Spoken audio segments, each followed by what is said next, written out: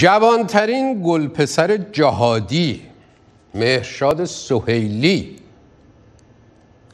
چرا گل پسر میگم؟ گل پسر به جوانایی میگیم که صرف رابطه با مسئولان نظام مقدس باعث شده که اینا امتیاز ویژه اجتماعی اقتصادی داشته باشن. هیچی ندارن جز همین رابطه. نه ثبات دارن نه تجربه دارن نه تعهد دارن. یه مشت آدم های حق باز تنبل ولی که فقط یا باباشون یا امشون یا چه می‌دونم حالا این یکی رو میگم به هر حال یکی رو داشته باشن یا چند تا رو داشته باشن تو دم دستگاه. زیر هوای رهبر نظام مقدس. مرشاد سهیلی اصاره نسل جدید تربیت شده جمهوری اسلامی است که به دلیل رابطه با مسئولان این نظام به موقعیت ویژه رسید. چند تا نمونه میگم. از این ارتباطاتش حجت الاسلام ماندگاری رو دیگه می‌شناسیم مدیر گروه تفحص سیره شهدا که کار تربیت مبلغ و راوی عرصه فرهنگ ایثار و شهادت را بر عهده دارد و مدام تو سیمای آقایون میبینینش وقتی تو ستاد رئیسی تو انتخابات ریاست جمهورشون سخنرانی می‌کرد مهرشاد سهیلی رو معرفی کرد. شما الحمدلله مشاهدید که یک جوان 17 ساله شهر شما جناب آقای سهیلی جوانترین حتی باید بگیم نوجوانترین فرمانده تو مملکت ماست. فرمانده بسیج و سپاه سازندگی و جهادی حضرت مهدی صاحب الزمان صلوات الله و سلام علی و علی آباء تاهرین انقلاب اسلامی ایران اتفاق خوب نه تنها مثل آقای سهیلی در دوران دفاع مقدس اینقدر جوان و نوجوان رو تربیت کرد که سی و شیش هزار تاشون شهید شدن. حالا این جوانترین که باید بگیم نوجوانترین فرمانده جهادی کی هست؟ متولد 1383 در موسیان ایلام.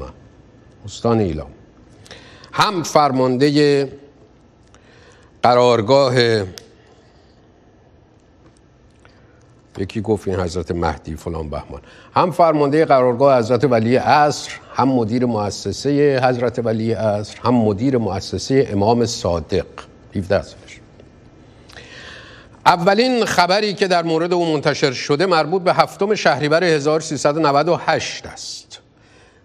خبرگزاری سپاه تصنیم از قوم گزارش می دهد در سومین جشنواره کرامت و آین تجلیل از خادمان سفیران کریمه از نوجوانترین نماینده سفیر خادمان حرم حضرت معصومه سلام الله علیه تجلیل شد.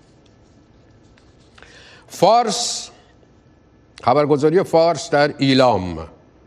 در 25 آذر 98 گزارش دیگری از او منتشر می کند و می نویسد او در محلش مؤسسه فرهنگی ثبت کرده و تلاش می کند به محرومان و نیازمندان کمک کند.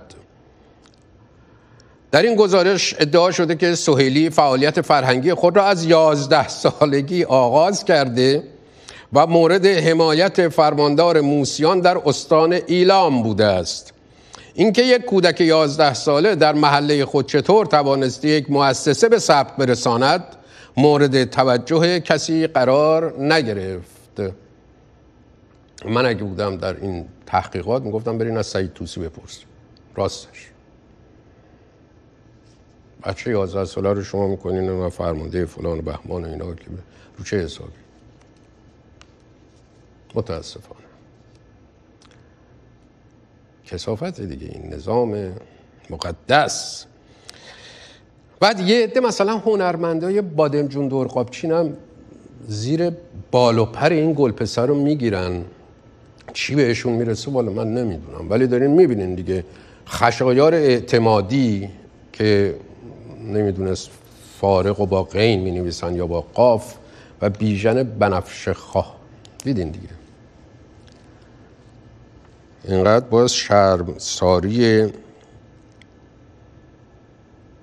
هنرمندان اینا که آدم واقعا نمی‌خواد حرفاشون رو بخونه. رئیسی که میشه رئیس جمهور برگردیم به همین گل پسر گل پسر مرشاد می‌خواد بشه وزیر. باور کنین. می‌بینه تنور داغه بچسبونم. هر کی هر کی. چرا وزیر نشه؟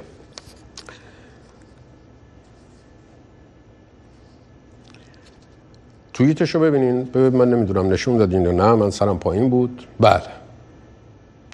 این جانب این جانب یعنی مهرشاد سهیلی. ضمن تبریک به جناب عالی. پس آیت الله رئیسی. برای کسب افتخار خدمتگذاری در میدان وسیع مدیریت اجرایی کشور امیدوارم در دوره ریاست جناب عالی با توجه به کارنامه درخشان مدیریتی در چهار دهه اخیر و روحیه دلسوزی مردمی انشالله با تشکیل کابینه ای که جوان کابینه جوان و حزب اللهی موفق باشید.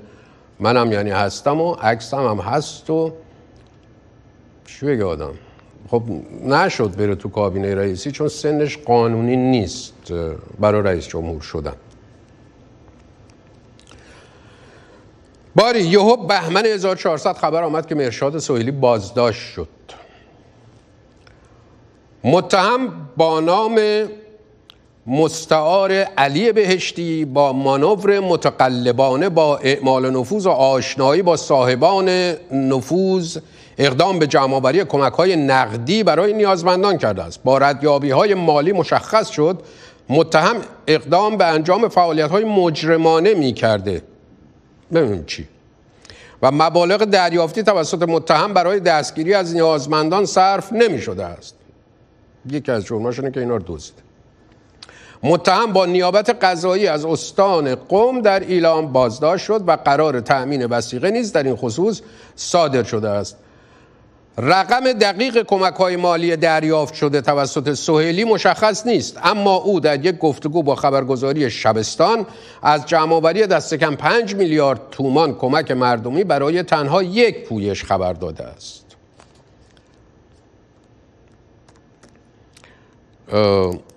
تو حساب بانکیش هم بوده؟ یعنی وقتی که میگیرنش اینا میگن اینو چند میلیارد تومن تو گردش حساب بانکیش فقط بوده. همین. حالا بعد میگیرنش قرار وسیقه برش. قرار وسیقهش چقدر بوده؟ نمی‌دونیم. کجاست؟ زندان که نیست. بود و محاکمه در کار بود حتما با آب و تاب اعلام می‌کردن دیگه. اصلا دیگه نباید خبری ازش منتشر بشه. هر کی هم بخواد این موضوع رو پیگیری کنه تهدیدش می‌کنن. نمونه خبرنگار روزاروز در گزارشی نوشت. پیگیری مسئله مهرشاد سوهیلی از نظر گروهی غیرقابل قبول است. شمار فراوانی از حسابهای توییتری کسانی را که پیگیر ماجرای سربرون آوردن این نوگل نو شکفته شدند به باد انتقاد فهاشی گرفته و آنها را متهم به خشونت علیه کودکان کردند.